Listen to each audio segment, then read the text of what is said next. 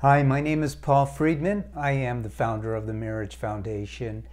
And this video is about where your husband argues with you about everything. This, this is a complaint that I can verify all the way back to when I used to be a divorce mediator, which is what I did before I became a marriage healer. And I would have couples come in, and it wasn't always the husband who did this, sometimes the wife, where no matter what was said, it just seemed like it had to be argued about. It just seemed like you one of them was walking on eggshells. And in your case, where it's your husband who wants to argue about every little thing, I know you feel that way. I, I feel like I'm walking on eggshells all the time. I can't breathe without him arguing with me. So let's take a look at the genesis of this, where it began, and let's come up with some good solutions that will help you get to the other side. Because you didn't get married to argue, you got married to be happy, right? You got married so that you would have a happy life with your soulmate. It's not too late. Now, this can spiral down, don't get me wrong. It has to be stopped. But you could be the one who puts the brakes on this. So, the genesis of this is that, and I'm not blaming you, but his frustration. We don't know why. It could just be a universal frustration. But he's frustrated. Nothing seems to be going well for him, at least in his marriage, where things really come to a head because it's two people living in a tight space. And I'm not just talking about physically, it's just two of you. And you're in what I call, and I want you to have, the sacred space of marriage. But too many people who start out as soulmates end up being cellmates. It's just no fun. Why? Oversensitivity, defensiveness. It isn't outer stuff, it's inner stuff. There's a lot you can do. You can ask yourself, what am I doing that's triggering him. Not that it's your fault, but what can I do differently? How can I be more responsive to his needs, expressed and otherwise? Am I expressing my love? You can ask yourself. Or do I take him for granted? You know, universally, it is the number one killer of marriages is that I call it over familiarity, where you start taking each other for granted. And you become defensive at the slightest provocation.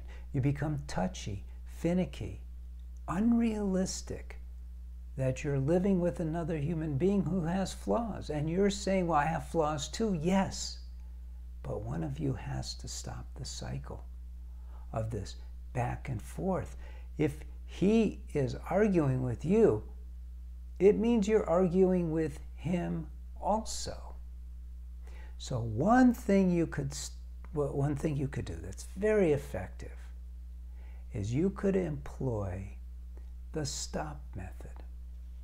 So when he begins to argue based on whatever, for whatever reason, you stop.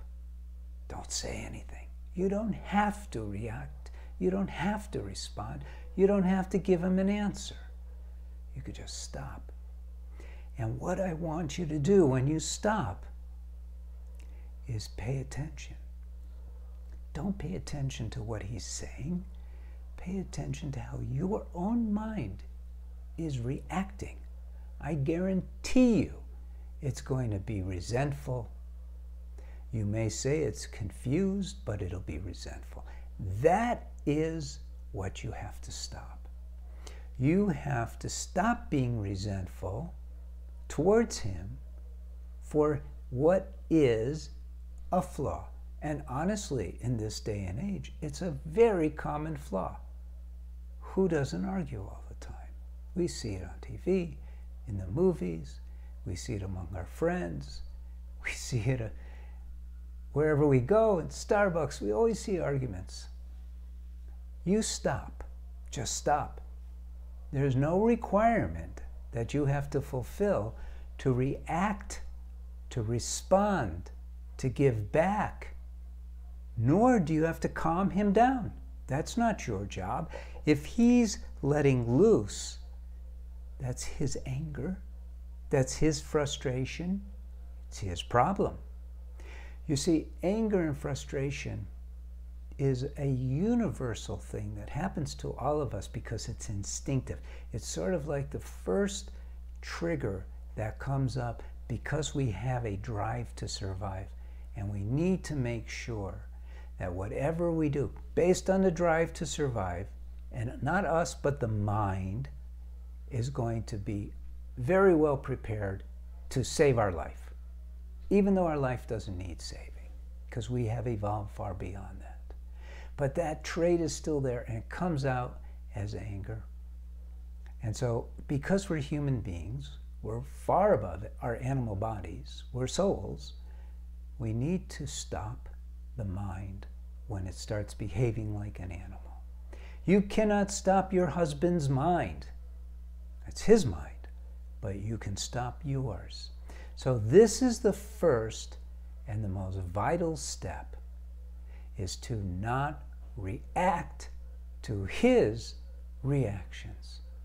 And if you miss the boat, which you will in the beginning, it's not too late because you become like a ping pong ball in these scenarios. And at some point, you just go, whoa. And then you could even employ the I'm sorry method. Doesn't mean you're necessarily sorry because you didn't do anything but you're sorry. You feel compassion. I'm sorry. Let's talk later. Can I get you something? Can I get you a glass of water? Can I get you a cheese sandwich? Calm yourself. Withdraw from the cycle. Relax. Let your shoulders relax. Breathe. Be you. Don't be you, the mind be you the soul. So hopefully this is helpful. If not, and you want to write into one of our counselors, please do so. If you want to look through all that we have, you know, we're a little bit different. We don't use traditional counseling methods because, frankly, they don't work. When I used to be a divorce mediator, I got all my business from therapists who failed. And so the way we approach things is very differently. I see marriage as a very spiritual, very lofty event in your life that can take you very far. And remember, you're supposed to be happy. That's why you got married. And that's and you should be doing everything you can to make each other happy. And happy, I mean every single day of your life. Happier. Love is a beautiful thing. It's not just a song. All right. God bless you. God bless your husband. God bless your family.